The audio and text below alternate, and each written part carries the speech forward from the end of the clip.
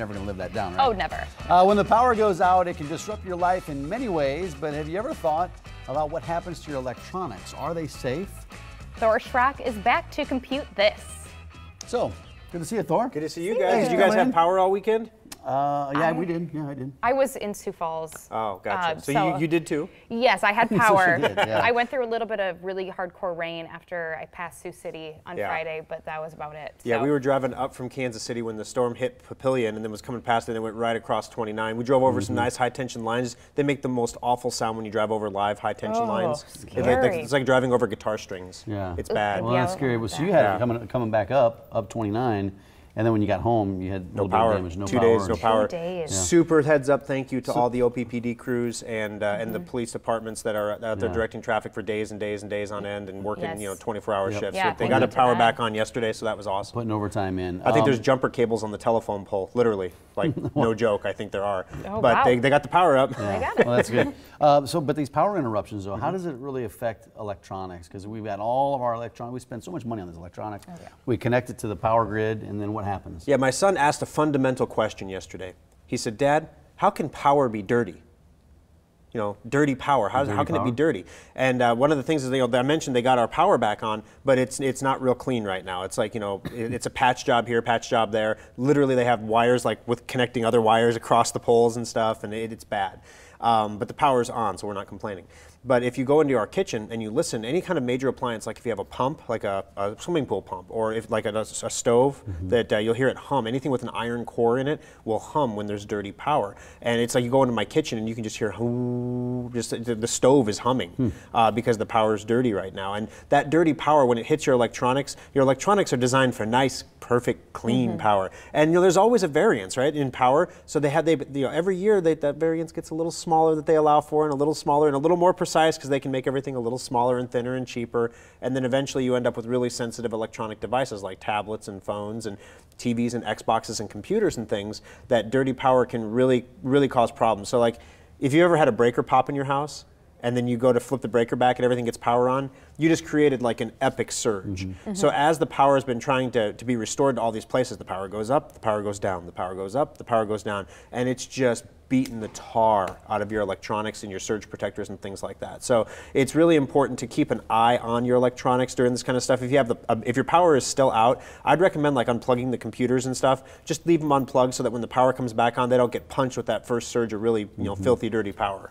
So back to surge protectors. Are those not enough then to, comp- to keep your computer safe? They can. They, they will. They'll, they'll protect you from surges. They don't protect. They don't condition the power. If you get one of those big battery backups, a lot of times those will have a power conditioning unit in it, and that's why they hum so nasty. They, they absorb all that dirty power and norm it out.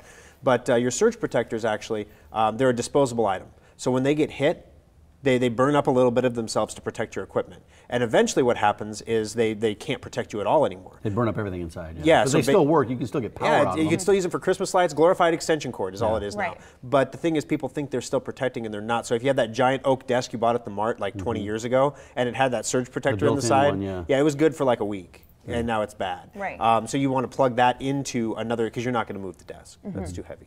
Uh, so you're going to plug that into another surge protector, put that in the wall or something to keep Uh-huh. it, to keep everything protected. So it's important if you have one of our uh, our surge protectors that they actually chirp when they're bad. So as long as your Schrock ones aren't chirping, you're good to go. Nice. If they are chirping, we need, that's why I told you to buy two.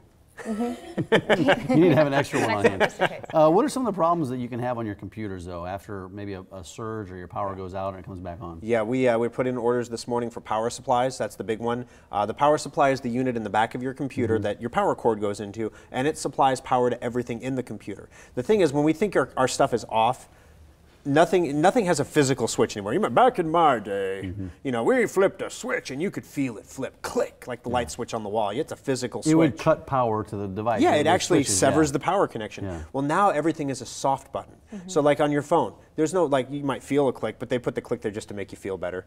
You know, when you push the home button on your phone and it goes click click, that's just to mm-hmm. make you feel better. Uh, that's why now with the iPhones, they you press on it and it'll actually buzz to make you feel better because there's supposed to be some tactile response from pressing a button.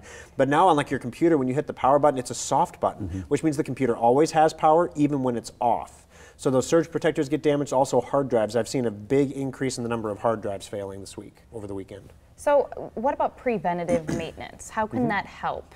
Well, it can help because you, you want to eliminate the weak links before they're damaged, right? Because if you have something that's on the edge of, of failing and then all of a sudden you get hit with a, a big power surge or a power outage or something like that, that can cause it to push it over the edge and fail. Uh, preventative maintenance, though, is good to keep everything running smoothly and efficiently. But after you have a big event like this, you know, preventative maintenance doesn't protect you from a, a power supply blowing up. It doesn't stop your hard drive from dying. It just lets you know if you're having problems or you might have problems in the future that we can get them taken care of ahead of time. My generator broke over the weekend. I took it to uh, small engine repair in Ralston, got it fixed up. They did a great job, got it in the same day back to me. Um, and he's like, "Well, what's in here? Do you want me to do preventative maintenance?" He listens to the radio show, and I'm like yeah, go ahead and do it. I believe in what I preach. Yes. do it. So he did, and that thing runs so much smoother now, and the power coming off it is cleaner. So preventative maintenance can do a lot of good things, mm-hmm. not just for computer equipment, but for all kinds of equipment. Mm-hmm. But the preventative maintenance is super critical after you have uh, an event like this to make sure everything is okay. Because if you have something that's failing,